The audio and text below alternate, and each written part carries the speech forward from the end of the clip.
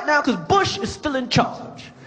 George Bush is still in charge. And nobody gives less of a fuck than George Bush. You think you don't give a fuck. Bush don't give a fuck. Nobody gives less of a fuck than George Bush. If you was hanging from a cliff, get ready to fall to your death. That's right. And Bush was at the top of the cliff. And all you needed was a fuck to save your life. And Bush had a pocket full of bucks. He wouldn't give you one. President of the United States. President of the United States is, you know, our boss. But he's also, you know, the president and the first lady are kind of like the mom and the dad of the country.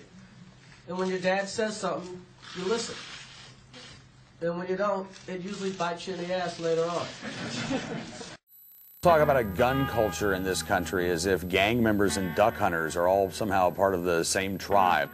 That's like saying NASCAR drivers and drunk drivers are all part of car culture.